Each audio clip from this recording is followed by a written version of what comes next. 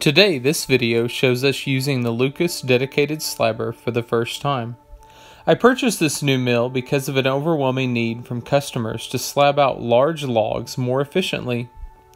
This slabbing mill not only takes less time to make a cut than the Alaskan mill, but also leaves the slabs with a straighter and smoother finish. This video has been by far the hardest to make since I recorded around an hour's worth of footage that I condensed down to 6 minutes. I will upload a longer video at a later date. But if this is still too long and you want to skip through the majority of the cutting and see the end result, please skip to around the 5 minute 30 second mark. Please enjoy.